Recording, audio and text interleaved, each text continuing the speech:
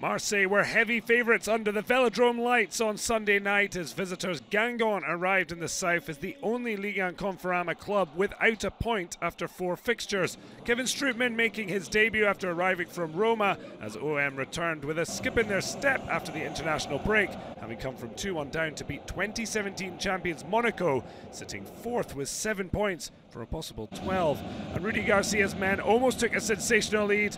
Dimitri Payet picking out Morgan Sanson, but his strike deflected away from Karl-Johan Johnsson's goal.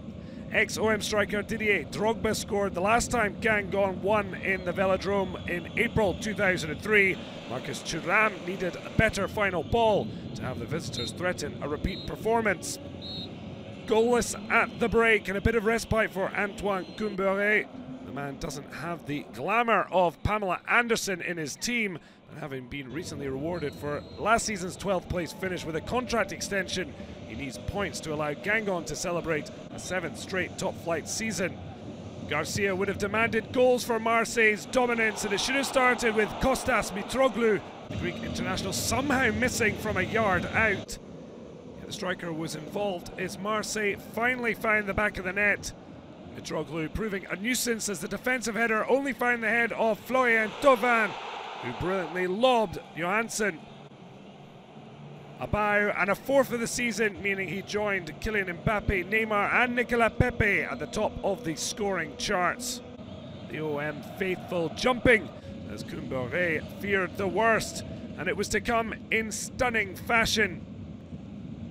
Morgan Sanson lifting the ball towards Mitroglou. When the ball fell to Payet, that was the result.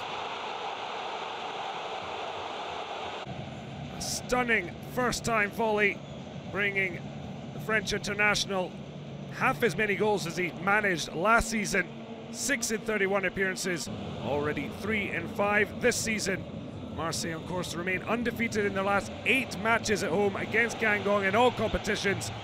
And not to be outdone, Thauvin then showed why Marseille are threatening to produce a title challenge. Strootman showing no signs of the problems he's had to burst clear, and Thauvin did the rest. Well, the Dutch international finding French World Cup winner. Brilliant touch to get it under control. And then the curler to leave Swede Johnsson clutching at thin air. So five and five, meaning Thauvin's out alone at the top of the scoring charts.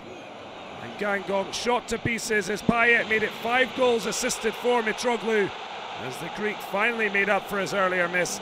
11 league goals in 23 appearances, two in four for this campaign. Sanson again involved, Payet across, no trouble with the finish.